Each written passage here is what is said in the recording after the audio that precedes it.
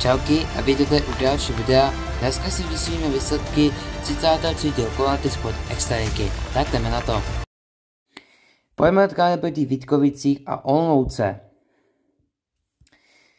V první řadě Vítkovice vedle 1-0, byl to Robec Burkát z přesilovky. Jan Navrátil vyrovná 1-1, Lukáš Kovář znovu vedl na 2-1, pak Jan Navrátil dá druhý kol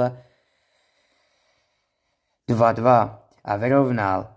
A Il Avout jako anglicky rozhodl prodloužení toto zápas. Vítkovice porazil Olmouc 3-2. Podvatka je proti Plzeň a Kladně. Plzeň vedl 1-0, jako byl to jako vlev. Přesovky. Aha, pardon. Uh, David Kusil dá první kol, vede 1-0 kladně, ale byl to neúznaný kol. A teď už je to znovu jako lev 1-0. Pak Alex Moja vyrovnal na 1-1, pak Martin Procházka otáče skore na 2-1. Pak Martin Indrák vyrovnal na 2-2. Adam Holenžický, Holežnický přesilovky otáčel na 3-2. Pak Adam Relkonem 4-2 přesilovky, Matěj Indrák druhý kol na 5-2, Tomáš Medl 6-2 a Ada Relkonen 7-2 přesilovky.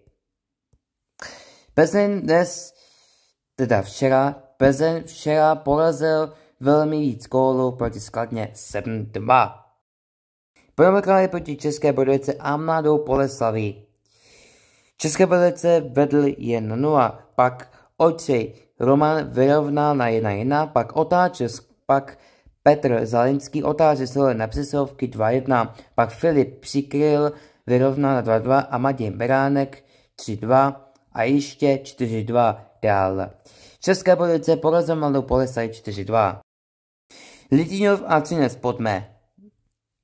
Když, chci, když Třinec chtěl vyhrát proti Svitínovně, když Petr Herončák vedl 1-0, pak Lukáš Krikl vyrovnal na 1-1, pak Adam Smithl znovu vedl na 2-1, pak David Kaše vyrovnal na 2-2, Olci Kašo otáčel na 3-2. Já Abdul 4-2, ano, hlava dobrá zebraky 5-2. Ale Třinci nedopadl dobře, tak Litvinov po třetí porazil Třinec 5-2. Promotkany proti Malfotraleckáve a Karoli Varu. Malfotraleckáve chce na porazy Karoli Varu. Bohužel tak se pojďme podívat. Ve druhé třetině Jornát Peter dal vedení na 0, pak Jiří Černoch vyrovnal na 1-1, pak Boumil Jank 2-1, pak Ondřej Perádek vyrovnal na 2-2.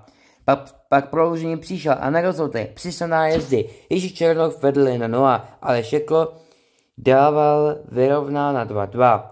Pak David Kuš, Kušík dal znovu vedení na 2-1, pak tady šťastný znovu vyrovnal na 2-2, pak rozhodl zápas Václav Líska. Bohužel Mafederácká chce postupit do čtvrtfinále, ale před kola musí zůstávat na sedmém místě. Karoli Vary Mafederácká prohrál s Karoli Varou 2-3 po samostatných nájezdu. Promotkáme proti Pardovicích a Liberce.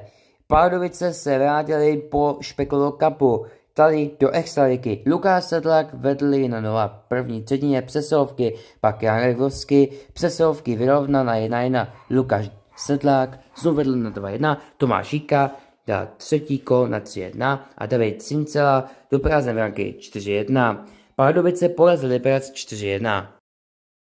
Podmetrali proti Spartu a Kometu Brno. Poslední utkání výsledky, když Matěj Ďalouka poslal do vedení komentu Prnu 1-0, pak Roman Horák vyrovná na 1 pak otáče z kolena 2-1 a Olcej Najma vedl 3-1.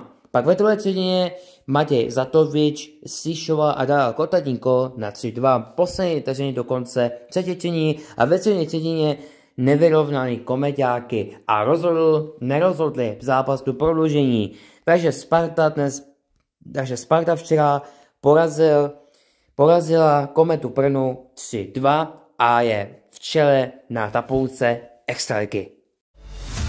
Tak to je dobrá zpráva, že Sparta je v čele. Tak jo, přátelé, my se s vámi učíme. My se uvidíme zítra. na výsledky mistrovství světa juniorů hráčů do 20 let roku 2024 a to bude určitě velmi dobrý. Tak jo, tak zítra, ahoj.